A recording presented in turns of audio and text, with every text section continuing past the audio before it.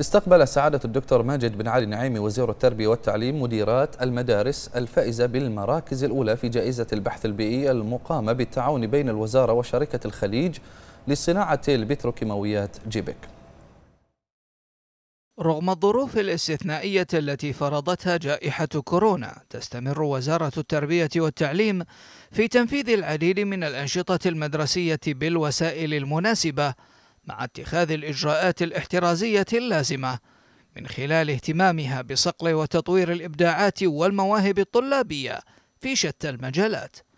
وفي هذا الإطار استقبل سعادة الدكتور ماجد بن علي النعيمي وزير التربية والتعليم المدارس الفائزة بالمراكز الأولى في جائزة البحث البيئي المقامة بالتعاون بين الوزارة وشركة الخليج لصناعة البتروكيماويات جيبك في دورتها السادسة عشرة وخلال اللقاء هنأ الوزير المدارس الفائزة مشيدا بجهودها في هذا المجال مثنيا على الدور المتميز لشركة جيبك في تنفيذ هذا البرنامج الهام والهادف لدعم وتشجيع طلاب وطالبات المدارس في مجال البحث العلمي الساعي للابتكار.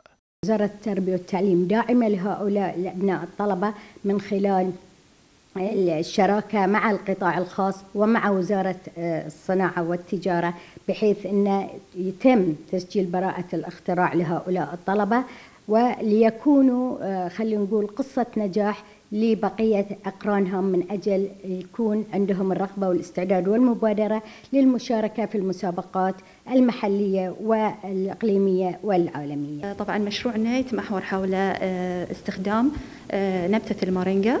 نبتة المارينجا في عملية تقطير المياه مياه الأمطار المتجمعة بالإضافة إلى اللي هو تقطير آه، المياه العادمة المتجمعة في آه، مصنع الميثانول في آه، طبعا كما هو معروف إن هذه النبتة لها فوائد كثيرة جدا. فحبينا إن نستخدمها في هذا المجال.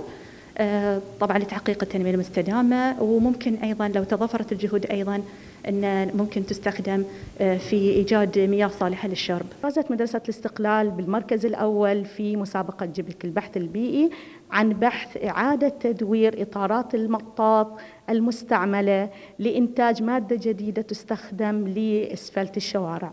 طبعا جاء هذا البحث نتيجة جهود وتجارب قام بها الطالبات مع المشرفة على المشروع في ظل الجائحة الحالية. المشروع كان عن إنتاج علف حيواني من مخلفات النخيل بحيث إنه يقلل من نسبة ثاني أكسيد الكربون آه، في الجو بحيث إنه يحافظ على البيئة. آه، الحمد لله يعني آه، مدرستنا تهدف دائما إلى إشراك الطالبات في هذه المسابقات العلمية.